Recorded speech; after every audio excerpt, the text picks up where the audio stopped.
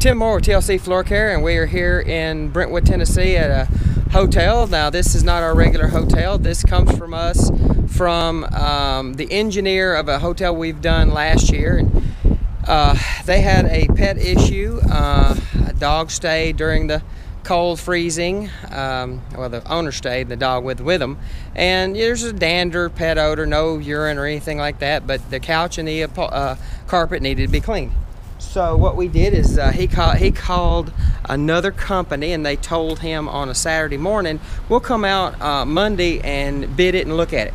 He's like no. He called us at 11 o'clock, 2 o'clock. We're here. We're 2:30. We're done. We got it taken care of.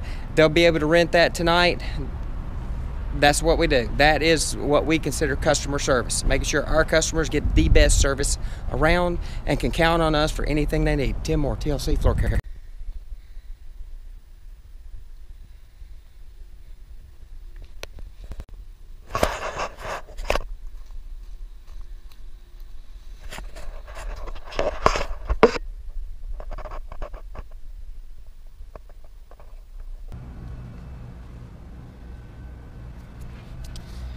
So what did we do in here? We came in here, we sprayed a carpet cleaning pre-spray that had a specific deodorizer that attacks uh, odors and general odors, smoke odors, pet odors, any kind of odors. We extracted the carpet, got it clean. We also did, because it was a dog and a big dog, it's going to get it lay on the, the uh, couch, we also did the couch. So they got the couch and the carpet done.